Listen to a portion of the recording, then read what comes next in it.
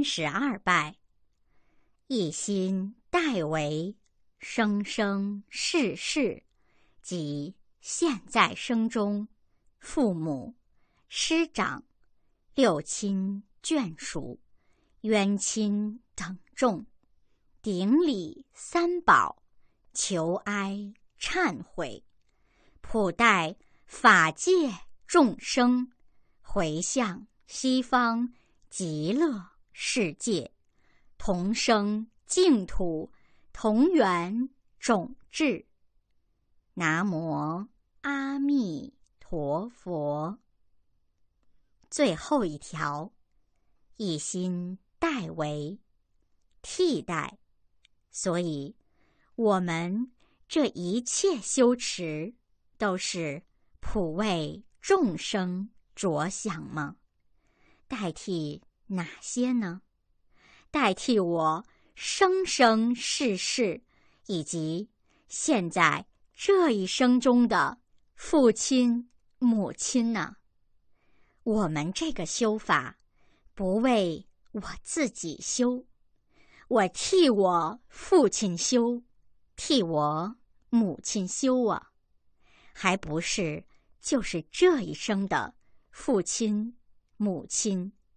我们过去。多少生，有多少父亲、母亲呢？我都要替代呀。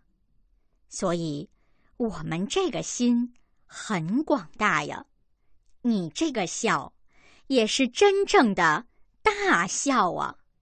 不光是孝顺今生的父母啊，所以就使得我们一个人就是伟大了。这是学佛的殊胜的意义呀！我常说，是大变活人呢。所以，学佛的过程就是改造的过程啊。你学了半天佛，不但学佛是如此，连儒家都是这么说。你念了四书，你还是照旧一样，你就。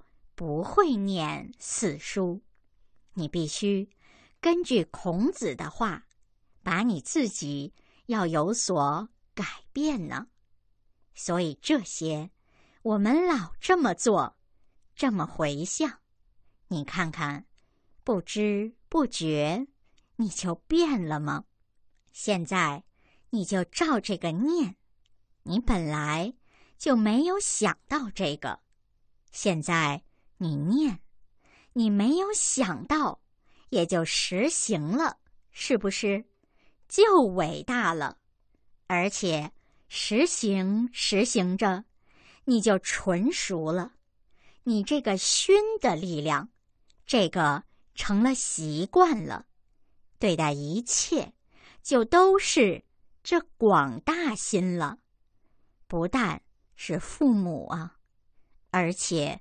六亲眷属啊，亲眷都有啊，而且冤亲等众，冤亲平等，冤亲平等，不但是平等，还先提出冤来，冤还在亲的上面，这正是佛教的伟大！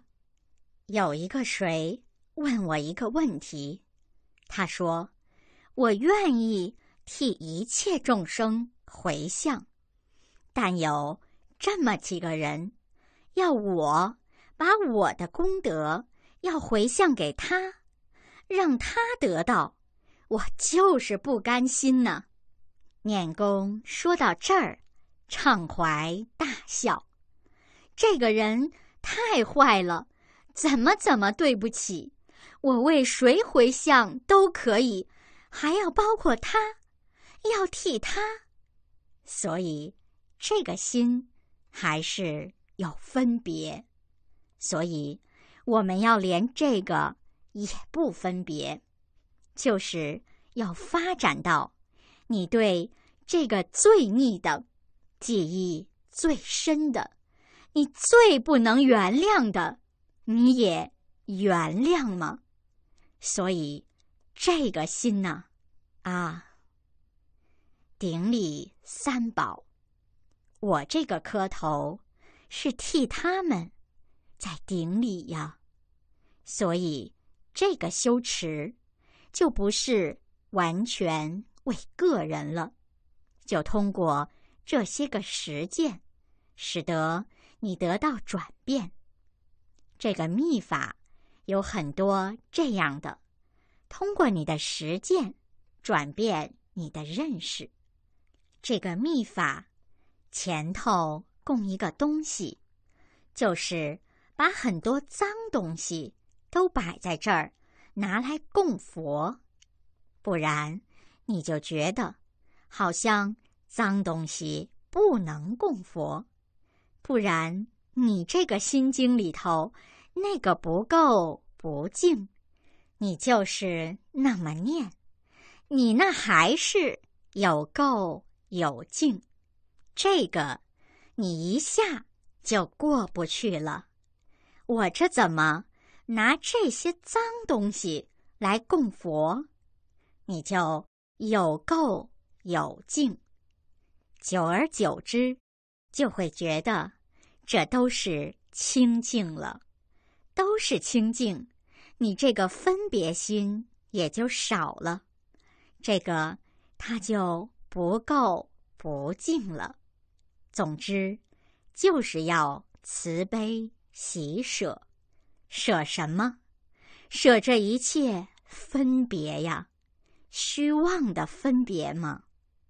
顶礼三宝，求哀忏悔呀！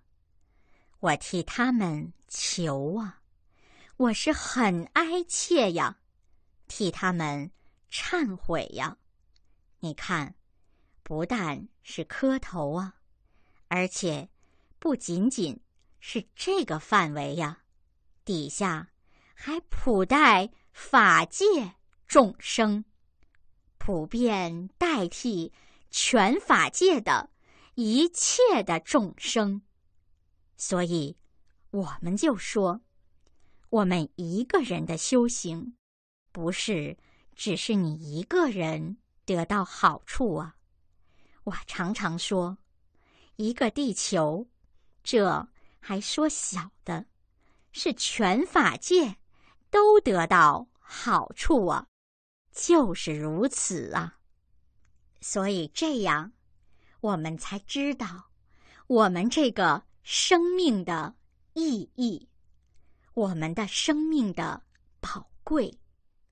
多有这样一个人在世间，全法界的众生都得到。好处，普代法界的众生回向西方极乐世界啊，同生净土，同源种智，都同生到极乐世界，同圆满一切种智啊，圆满一切种智，也就是。